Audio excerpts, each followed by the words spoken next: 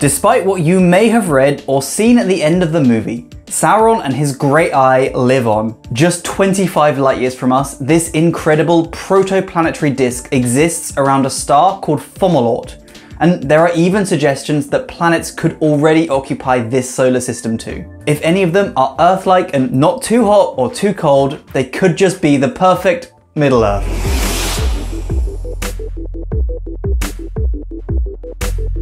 Yeah, I'm sorry about that one. I'll try my best not to do that again. I won't say anything else about the dwarf star that orbits nearby, tugging Fomalhaut to and fro, though I will just mention that it's possible for the protoplanetary disk to contain many valuable precious metals.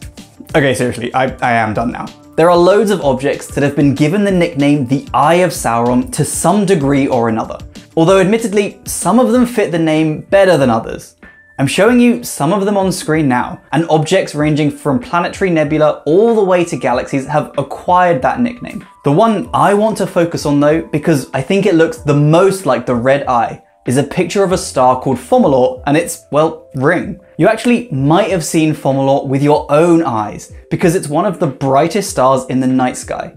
It makes it to number 18 on that list. It's only about 25 light years from us, but 25 times brighter than our sun, and it's in the southern fish constellation Piscis Austrinus. The star also has two fainter friends, two other stars that are close enough by to be gravitationally bound together, making this a triple star system. In this image that resembles the lidless eye of Sauron, the black pupil isn't really part of the system. It's a result of something called a coronagraph on the Hubble telescope. It's a mask that deliberately blocks the star, hiding its incredibly bright light and making it easier for us to see and study the structure around it. It's just like using your thumb to block a light bulb so you can see something near that light. The black slit here is then the shadow of this mask, and the spot in the middle is where the star actually is, but we can't see the star itself here. The ring though, and all of that glorious structure, that is all very real. The ring is actually brightest in infrared wavelengths of light, so there's the exciting prospect of an updated image of the eye,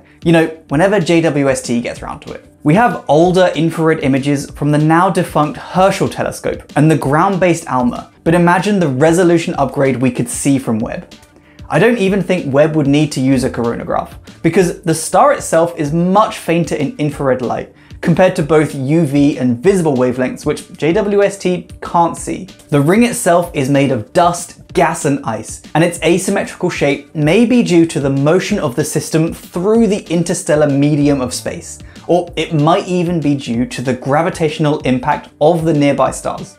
We aren't 100% sure on this yet. The disk is made up of all the leftover material from the formation of the star, making up the protoplanetary disk a 40 billion kilometer wide ring that could be forming planets around that star, but more on that in a moment. The dust and ice tends to start to clump together due to static electricity, and then as it grows and grows, eventually gravity takes over and planets can form from the debris. The radiation from the star can also blow away leftover dust and gas, further revealing the planets that have already formed and eroding the ring outwards.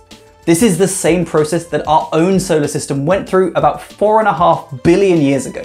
So studying this much younger system can teach us valuable lessons about where we and our planet came from. In addition to radiation from the Fomalhaut star, we think the inner edge of the ring is suspiciously sharp and clean, and we used to be pretty sure that that's due to a young planet hoovering up matter and clearing its orbit, using its gravity to sculpt a nice, clearly defined ring. This suspected planet has two names, one much cooler than the other. The first is Fomalhaut b, a classic exoplanet name, just the name of the star it orbits followed by the letter B, because it's the first planet to be seen around the star. The other name is Dagon, publicly chosen but now official. It's named after a deity that was half man and half fish, Fitting, since it's in the Pisces constellation. The only issue with Dagon is we no longer actually think it's a planet. We now think this is a dust cloud with the coolest name in the galaxy. It's kind of embarrassing, right? We even had pictures from the Hubble Space Telescope that we thought showed the planet. Not just one picture. We imaged it over eight years or so, thinking we were seeing it orbit Fomalhaut. But really, it seems like we were just seeing a big dust cloud or something orbiting instead. You can see the brightness of the object does seem to change over time, suggesting that it's an expanding object, which is not something most planets do this quickly. At least not without some outside influence. So how else can we tell that this is not a planet? Well, the first clue was that ground-based telescopes couldn't see it. This doesn't rule out the existence of the planet, but it does limit its mass to be less than about three times Jupiter's mass. Maybe the dimming effect could be because the planet has a huge ring system and the angle we're seeing it at is changing over time. So it looks bright when we see it face on and dim when it's edge on. The issues get worse for this planet candidate, however, when the Spitzer Space Telescope also failed to see any infrared emission from the object, limiting it further to be less than one times Jupiter's mass. Additionally, it now looks like the object might be moving so fast that it would actually be on course to escape the star's gravitational grasp and leave that solar system altogether. Again, not something that's common with planets. However, like all good three-part stories, there could be a final twist, and there's been an even more recent claim that maybe it is a planet once again, albeit one with an absurdly elliptical orbit. So at this point, just enjoy the image of the sinister eye. I did a lot of reading about Fomalhaut b for this video, and the only thing that's very clear about it is that we really don't know if it's a planet or not. It was, then it wasn't, now maybe it's been revived. For now, we're calling it a zombie planet living in the Eye of Sauron. Definitive? Perhaps not, but still rock and roll enough for something so Tolkien.